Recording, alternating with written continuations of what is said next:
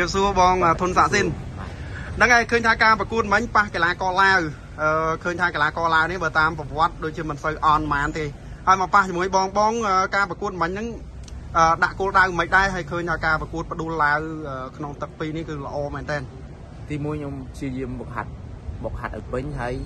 ទីមួយខ្ញុំស្ដាប់ទីពីរខ្ញុំស្ដាប់លោកគ្រូបាទបាទបងឲ្យប្រយោគខ្ញុំឡើងពេលឡើងវាយយើងត្រូវចេញអីចេញអីចឹងហើ យការហ្វឹកហាត់មួយរយៈពេលនេះឃើញថាការប្រកួតឡើងជើងការហ្វឹកហាត់ទ្វេដងឬក៏មិនដែរហាត់ទ្វេដងបងព្រោះអីយើងបាក់រឿងបាក់ចាប់គូបងព្រោះអី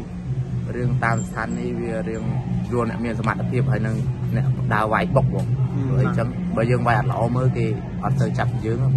ធម្មតាទេបងស្ថានីយ៍ណាក៏គេចង់បានកីឡាករបុកដែរហើយឥឡូវនេះឃើញថាអ្នកគ្រប់ត្រូលអូបាទសុបាយចិត្តដល់ពេលឃើញបងផ្ដួលកីឡាករឡើងអញ្ចឹងហើយអឺ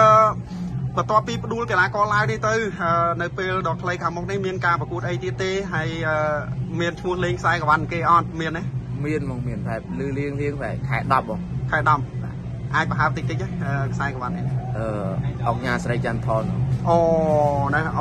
ខ្សែក្រវ៉ាត់សង្វៀមថ្មីក្នុងខែ10នៅក្នុងប្រភេទទម្ងន់គីឡូ60ហ៎អត់ទេគីឡូគីឡូ54 54អូច្រឡំច្រឡំច្រឡំធន់ប៉ុណ្ណា អឺហ្នឹងហើយការប្រកួតម៉ៃមិញធ្វើបានល្អហើយមានអីផ្ដាំផ្ញើទៅអ្នកគ្រប់គ្រងសម្រាប់ការប្រកួតនេះឃើញថាអ្នកគ្រប់គ្រងពេញចិត្តណាការផ្ដួលកីឡាករឡើងជាចុងក្រោយខ្ញុំសូមអរគុណពុកម៉ែបងប្អូនដែលតែងតែគ្រប់គ្រងរូបខ្ញុំ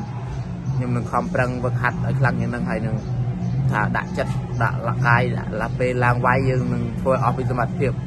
មានបណ្ដាចេញប៉ុណ្ណឹងបាទហើយមានអីផ្ដាំផ្ញើពិសេសទេទៅអ្នកបាត់ដំបងមានអីផ្ដាំផ្ញើពិសេសអត់រដូវបុណ្យភ្ជុំនេះឥឡូវទទួលបានជ័យជំនះហើយហើយមានអីផ្ដាំផ្ញើទៅអត់ បាទជាសូមជូនពរពុកម៉ែបងប្អូនអ្នកនៅខេត្តបាត់ដំបងអស់ហើយរស់ស៊ីមានបានហើយទៅណាទៅទីចិត្តទីឆ្ងាយសុខភាពតាមផ្លូវហើយអាយុខាងវែងអូអរគុណច្រើនបងជម្រាបលាជូនពរជោគជ័យថែមថែមទៀត